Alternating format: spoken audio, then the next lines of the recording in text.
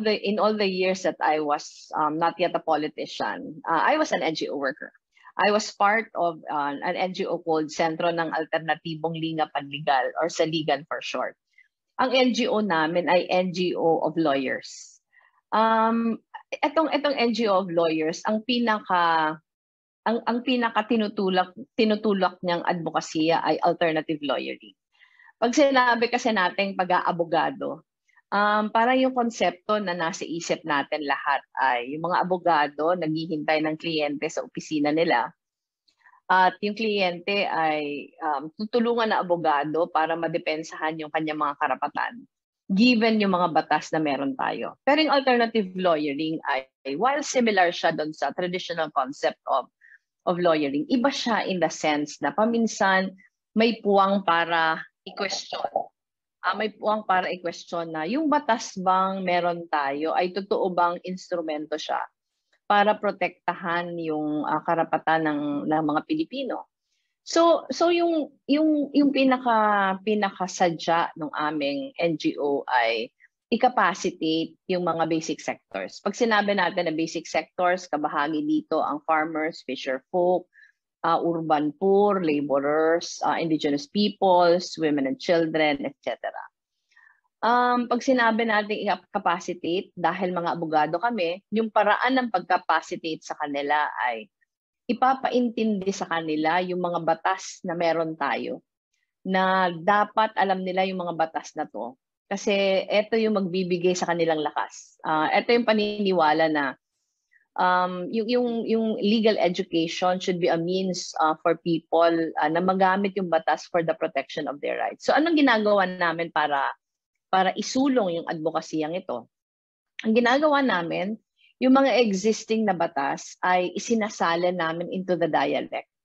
Um, halimbawa ako, because I was assigned sa Bicol branch ng Saligan, yung mga batas patungkol sa farmers ay isinasala namin yon into the Bicol dialect. Pagkatapos naming isalin ay nagkakonduct kami ng paralegal trainings uh, sa mga communities na yung access sa lawyer saka access to justice ay, justice ay mahirap. So gusto sabihin nito talaga ang pupuntahan yung pinakamalalayong mga lugar, mga kabundukan, uh, mga coastal communities, kasi ito yung mga lugar na mahirap, mahirap pakakuha ng services ng abogado at mahirap din yung pag-intindi ng tao sa ang mga karapatan niya under sa batas.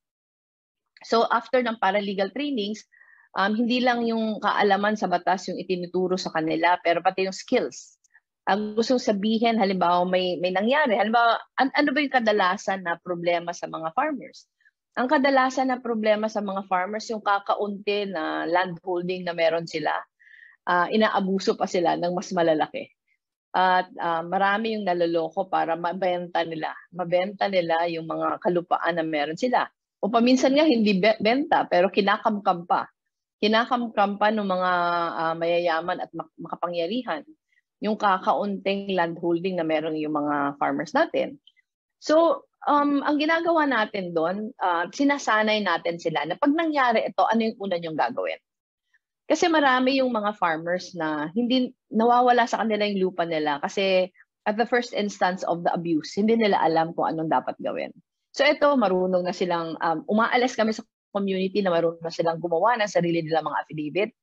Uh, marunong na sila nung proseso na dapat su- sunod-sunod na gawin. Uh, at kaya na nilang ilaban yung sarili nila kahit mahirap yung access nila sa abogado. So we have been doing that. Hindi lang sa mga farmers, pero sa fisher folk din. Halimbawa sa mga fisher folk, ano ba yung usual na nangyayari?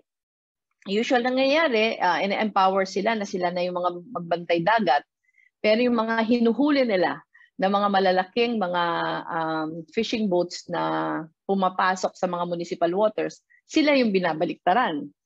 Uh, pag may hinuli sila, sasampaan sila ng napakaraming harassment cases. So, so yung mga ganon, halimbawa yung mga kababaihan na inaabuso sa loob ng tahanan, na tinuturo sa kanila kung ano yung dapat nilang gawin. Halimbawa yung mga laborers, um, paano paano nila po proteksyonan yung sarili nila uh, from unfair labor practices. So so um for um, for a long time ganun yung ginagawa ko.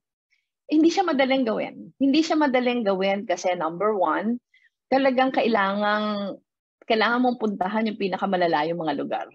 Kasi yung mga nasa malalapit, sila yung may access to justice. Yung mga nasa malalayo, sila yung hirap.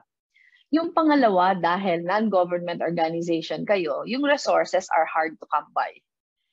And, and when resources are hard to come by, you, you become creative. Um, halimbawa kami, um, pag nag-handle kami ng programa, halos kami lang yon uh, one-woman team, one, one man o one-woman team. Uh, pag nag-handle ka ng programa, let's say sa isang coastal community, halos ikaw lang yung pupunta. Uh, nung time na ako pa yon, uh, magkakandak ka ng trainings. Ngayon, kailangan mo na lang ng laptop. Uh, tapos kailangan mo na maliit na projector. Nung panahon namin, hindi. Yung panahon namin, ang gamit namin, mga, mga Manila paper, kailangan pa namin isulat isa-isa sa Manila paper yung kailangan isulat. Nag-progress yon na overhead projector, pero kailangan isulat sa acetate yung mga yung mga lectures, etc.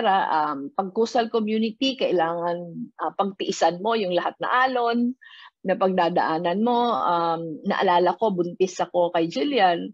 Uh, buntis ako kay Julian, nagko-community work ako um, sa isang coastal community, walang tulugan. So natutulog ako, six months yung chan ko. Natutulog ako sa, sa, sa ibabaw ng bangka na ang tinutulugan ko lang yung mga fish nets na ginawang uh, parang kutsyon ng mga yung mga farmers. So, kaya ko to kinikwento sa inyo kasi um, yung, yung pagiging NGO worker, hindi siya madali. Hindi siya madali in the sense na yung resources na available kung nasa gobyerno ka, kadalasan hindi ito available pag, pag NGO work yung ginagawa, ginagawa ninyo. Uh, pero um, bakit bakit to kailangan gawin? Um, kasi kailangan tong gawin for many reasons. At depende kung bakit um, finorm yung NGO ninyo. As I have said, yung sa amin, uh, capacity building of the basic sector siya pagdating sa sa legal education.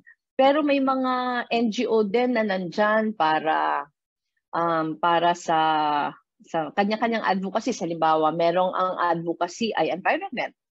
So so pag ang advocacy environment kadalasan ang ang tinutulong niya para maka-form ng policies, para mag-draft ng mga policies um, galing sa ground at ito ay ito yung gagamitin ng mga data ng ating mga policy makers, ng mga legislators. Meron din mga NGOs na nandyan to fill in the gaps. Halimbawa, when we did Angat Buhay sa Office of the Vice President, essentially what what we intended it to be was to fill in the gaps. Kung kung yung gobyerno may hindi naaasikaso o dahil sa sobrang uh, sobrang uh, yung enormity ng ginagawa niya, meron mga maliliit na bagay na hindi niya napupunan, kami yung pupuno. So, um, mahirap i-judge yung NGO kasi uh, as to their performance kasi iba-iba yung dahilan kung bakit andyan sila. Pero having said that, kung ang tanong, kailangan ba yung NGO? Definitely. Kasi yung paniniwala natin, yung governance, magiging effective lang siya pag um, na-empower yung civil society to participate. Kasi governance is not about government alone. Pero yung governance is the relationship between government and the civil society. Na yung civil society, ito yung tumutulay tumutulay sa gobyerno para mapapanilbihan niya yung constituency na kailangan niyang panilbihan. So if you ask me, ano ba yung role dapat na, um, ano ba yung role na pinaperform dapat ng NGOs? Uh, ah, dapat yung role niya, um, parang parallel siya. Parang yung, yung una niyang role, parallel siya sa ginagawa ng pamahalaan. Meaning to say, either ini-enhance niya yung ginagawa ng pamahalaan o pinupunuan niya yung mga pagkukulang ng pamahalaan o ina-assist niya yung pamahalaan sa sa role na ginagampanan. Um, yung, yung pangalawa, um, kadalasan yung mga NGOs also serve as a fiscalizer of sorts. Na pag merong pang-aabuso na nangyayari o merong hindi maayos na nangyayari, dapat yung civil society yung magko-call ng attention nung perpetrators nung abuse o perpetrators ng hindi mabuting ginagawa para para uh, maituwid 'yon. Bakit kinakailangan yung fiscalizers? Kasi um, hindi perpekto. Hindi perpekto yung lahat na sistema na uh, in our midst. Na kailangan pag pag may mabuting nangyayari, um, ina-affirm yung mabuting pangyayari. Pero yung pag may hindi mabuting nangyayari ay dapat uh, napupuna ito para na ibabalik sa sa um, tuwid na pamamaraan. So so ito et, et, etong sinabi ko sa inyo is just to give you a bird's eye view of of the role that NGO should play um, not just in society but siguro more importantly sa governance. Kasi yun talaga yung paniniwala ko na ang pinaka role ng NGO um, is pa- para yung governance mapiga.